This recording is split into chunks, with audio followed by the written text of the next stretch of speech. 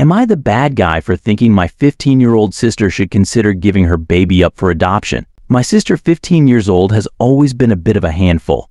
We've had a pretty rough childhood with not much guidance or support. Plus, there's a big age difference between us, which doesn't make things easier. I'm a 23-year-old woman and my boyfriend, also 23, and I have no plans to have kids.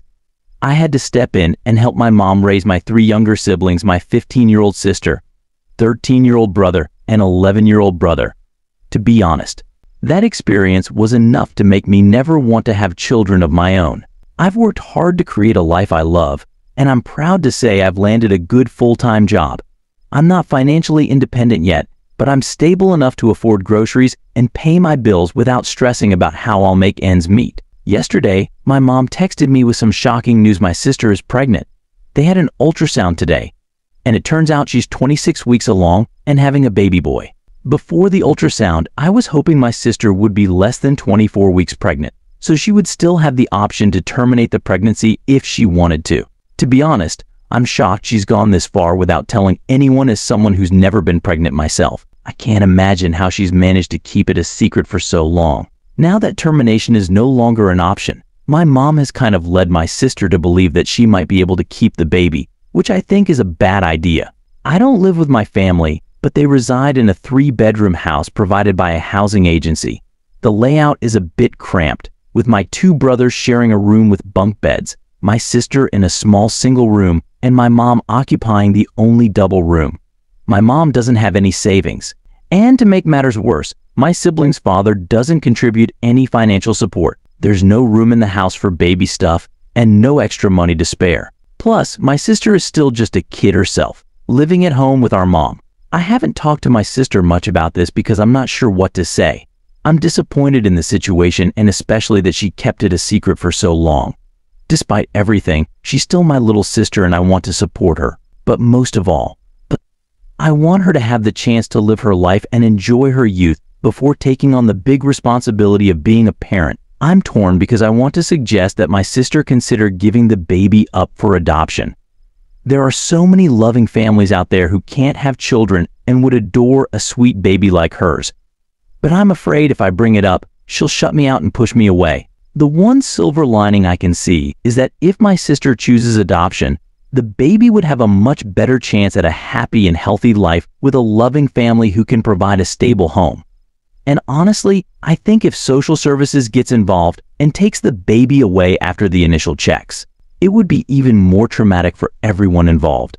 At least with adoption, my sister would have some control over the process and could make the best decision for the baby's future. Whenever I visit my mom and siblings, the house is always a mess. The dishes are piled up, surfaces are dirty, and my sister's room is a disaster. She'll leave her dirty bowls and cups in her room for so long that they start to grow mold.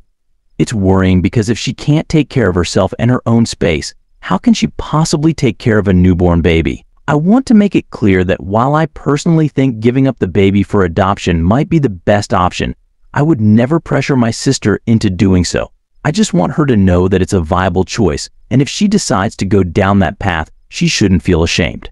Of course, there will be emotional pain either way, but I'm not sure our mom has fully considered the reality of bringing a new baby into our chaotic home life. I also want to make it clear that I would never try to force or pressure anyone, including my sister, into terminating a pregnancy. My only regret is that she didn't tell us sooner so she would still have had the option to consider it if she wanted to. I understand that terminating a pregnancy can be incredibly traumatic, and I respect that. My intention was never to push her towards that choice, but rather to support her in having all the options available to her. I'm not naive. I know teenagers make mistakes I was once 15 too and made my share. I'm not trying to lecture or judge. The thing is, I don't know how to approach my sister about this since we're not close. I can only imagine what's going through her mind right now. I want to offer helpful and comforting words, but I'm unsure if she also needs a dose of reality, which mom hasn't provided. My challenge is finding a way to share tough truths kindly without being too harsh. Just to add some more context, we live in the UK, where the education system is structured in a way that makes it difficult for students to balance school with other responsibilities. My sister will have to complete her regular school program, as there aren't any alternative night school options available. Most likely, she'll have to repeat a year to give herself a fair shot at passing her exams. I'm willing to lend a hand with the baby from time to time, but I wouldn't go out of my way to do so. For example, I wouldn't cancel my plans to babysit or take on extra responsibilities. Story 2. Was I wrong to tell my brother that he's to blame for being a single dad? My brother, I'm a 33 year old woman, called me asking for help with the mess he created, but I refused to bail him out. He's a single dad, and I told him it's his own fault. My brother, 44 years old, did something really stupid. He cheated on his wife, 42 years old, my sister in law. I found out about it just last week, and I'm still trying to wrap my head around it. To be honest, I never thought he'd do something like this, but he did. Now, I see him in a different light.